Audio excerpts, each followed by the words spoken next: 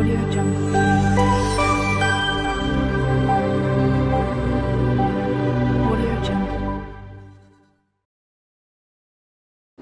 বন্ধুরা, আমি আজকে আবার একটা রেসিপি নিয়ে এসেছি, বেলে মাছের তেল ঝাল। এটা খুবই ভালো রেসিপি গরম ভাতের সাথে একতলা ভাত নিমেষেই খাওয়া হয়ে যায়। চলুন কীভাবে করি দেখে নেওয়া যাক। প্রথমে আমি কড়াইতে সর্ষের তেল দিয়ে দিয়েছি। তেলটা গরম হলে মাছগুলো ভেজে নেব। আমি মাছগুলো ভালো করে ধুয়ে নিয়েছি। এবার ভাজার জন্য হলুদ দিয়ে দিচ্ছি পরিমাণ মতো আর লবণ দিয়ে দিচ্ছি। এবার ভালো করে এটা মেখে নিতে হবে। বেলে মাছ কিন্তু স্বাস্থ্যের পক্ষে খুবই উপকারী। আমার তেল গরম হয়ে গেছে। এবার মাছগুলো দিয়ে দিয়েছি ভাজার জন্য। বেলে মাছ কার কার ভালো লাগে অবশ্যই কমেন্ট করে জানাবেন। বেলে কিন্তু দুই প্রকার হয়। একটা চ্যাটা বেলে হয়, একটা এই বেলে হয়। বেলে মাছ খুবই নরম ভাজার জন্য খুবই সাবধানে ভাজতে হবে। এক পাশ ভাজা হয়ে গেলে উল্টে দিতে হবে। এটা খুবই নরম মাছ কিন্তু। আমার ভাজা হয়ে গেছে, আমি আস্তে আস্তে উল্টে দিচ্ছি। তেলটা গরম হলেই মাছটা ছাড়বেন, তাহলে ভাজার ভয়টা থাকবে না।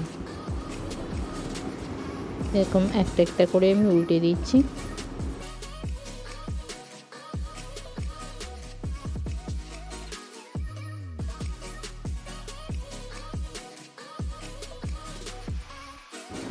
মাছ ভাজা হয়ে গেছে, আমি এবার তুলে ফেলছি।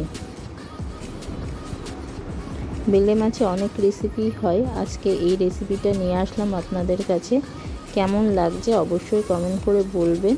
আরও অন্য অন্য রেসিপি নতুন নতুন রেসিপি নিয়ে আসব। আপনাদের একটু পাশে থাকবেন আর উৎসাহ দেবেন। আমি আরও একটু তেল দিয়ে দিয়েছি।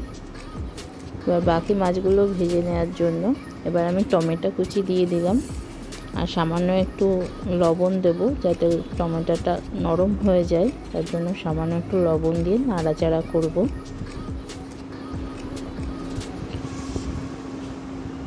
আমার রেসিপি আপনাদের কেমন লাগছে অবশ্যই কমেন্ট করবেন, ভালো লাগলে। আমি একটু খুন্তি দিয়ে চেপে চেপে দিচ্ছি, যাতে টমেটোটা নরম হয়ে যায়। তার জন্য একটু খুন্তি দিয়ে চেপে চেপে দিচ্ছি। এখানে আপনারা টমেটো পেস্টও ইউজ করতে পারেন। আমি টমেটো কুচিয়ে দিয়েছি। আমার ভাজা ভাজা হয়ে গেছে। এটা আমি একটু সাইড করে নেব। তুলবো না। এটা আমি খুন্তিতে একটু সাইড করে নিয়ে ফোড়নটা দেব। আমি এখানে কালো জিরে ফোড়ন দিচ্ছি। এটা দশ সেকেন্ড একটু ভাজা ভাজা করব, যাতে ফোড়নের গন্ধটা উঠল আমি বাকি মশলাটা দিয়ে দেব। আমার ফোড়নের গন্ধ উঠে গেছে, এবার বাকি যে মশলাটা করেছি আমি সেটা দিয়ে দেব। সাদা জিরে, কালো জিরে আর লঙ্কা বাটা। আমি এই মশলাটা পেস্ট করে রেখেছিলাম, সেটা আমি দিয়ে দিলাম। এবার সামান্য পরিমাণে একটু জল দিয়ে দিচ্ছি মশলার বাটি ধোয়া জল। ভালো করে একটু নাড়াচাড়া করতে হবে। এবার পরিমাণ অনুযায়ী লবণ দিয়ে দিলাম এক চামচ। উঁচু উঁচু দিইনি আমি এটা হাফ মাথায় মাথায় লবণ দিইনি দু চামচ হলুদ দিয়ে দিচ্ছি। এখানে আপনারা কাশ্মীর লঙ্কাও ইউজ করতে পারেন কালারের জন্য। আমি ইউজ করিনি, আপনারা ইউজ করতে পারেন। এবার একটু ভালো করে কষাতে হবে। দেখুন, তেল আমার সেপারেট হয়ে গেছে। এবার আমি জল দিয়ে দেবো। যতটা পরিমাণে ঝোল রাখবেন, ততটা পরিমাণে জল দেবেন। আমি জল দিয়ে দিয়েছি, এবার সব ভালো করে নাড়িয়ে নিতে হবে মশলাটা। এবার এটা ফুটতে দিতে হবে। ভালো করে ফুটে উঠলেই আমি মাছটা দিয়ে দেবো, কারণ মাছ কিন্তু নরম মাছ, ফোটার সাথে সাথে ভালো করে ফুটবে, তারপরে আমি মাছটা দেব। যারা সাবস্ক্রাইব করেছেন তাদের অসংখ্য ধন্যবাদ। যারা এখনও করেননি, তারা প্লিজ সাবস্ক্রাইব করে পাশে থাকা বেল আইকনটা প্রেস করে অল করে রাখবেন, তাহলে আমার সমস্ত নোটিফিকেশান আপনাদের কাছে সবার প্রথমে চলে যাবে। আমি মাছ এবার দিয়ে দিচ্ছি, আমার জল ফুটে উঠেছে, আমি মাছ এবার দিয়ে দিচ্ছি।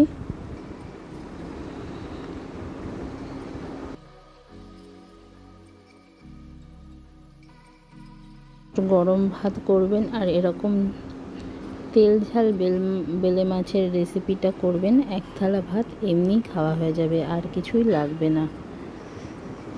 বেলে মাছ খাওয়া কিন্তু বাচ্চাদেরও খুব উপকারী মাছ এটা। বাচ্চারাও এটা খেতে পারবে আর কি।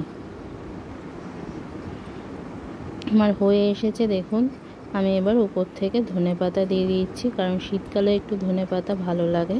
আপনাদের যদি ভালো না লাগে, তাও না দিতে পারেন। আমি এবার সার্ভ করে দিয়েছি। কেমন হয়েছে অবশ্যই কমেন্ট করবেন। ভালো লাগলে একটা লাইক করবেন।